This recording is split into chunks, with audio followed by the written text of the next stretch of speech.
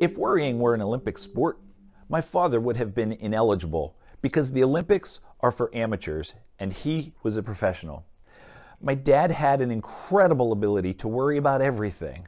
At one point, I stopped telling him ahead of time if I were planning a trip to visit family because he would worry and fret between the time he found out until the time I was safely back at home after the trip. It didn't prevent him from worrying about my return trip, but at least it ended the worrying that led up to my travels. The trip to Pittsburgh takes about four hours.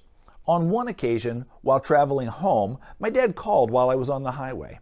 He proceeded to scold me for not calling him back to let him know that I had arrived safely at home, as I had promised to do. The problem was, I'd only left his house about two hours before that. That was his level of anxiety. He couldn't even keep track of time. He just worried. There's an expression that says the apple doesn't fall far from the tree, meaning kids turn out like their parents. Sadly, that would be true of me. I probably would be considered at least a semi professional worrier.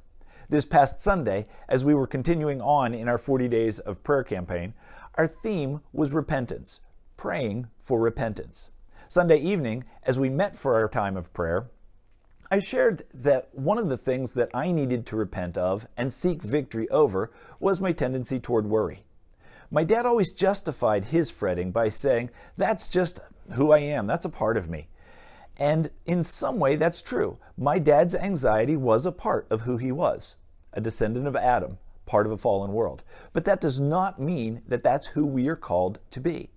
In the Sermon on the Mount, Jesus spent some time talking about the futility of worry, pointing out that worrying doesn't actually change any part of our situation. It simply shows a lack of trust in God. God loves us perfectly and is perfectly able to care for us completely.